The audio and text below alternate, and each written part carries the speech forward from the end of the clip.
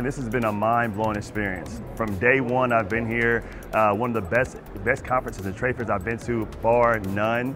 Um, you know, probably the best well put on um, with some of the highest level individuals across the continent of Africa. And I gotta say, this has been just amazing in my opinion the opportunities here for trade, right? The IATF has been a, a, great opportunity and great position where they brought so many people here, right, in one location, right? Heads of states, ministries, presidents, chairmen, all in one place to really be able to do business.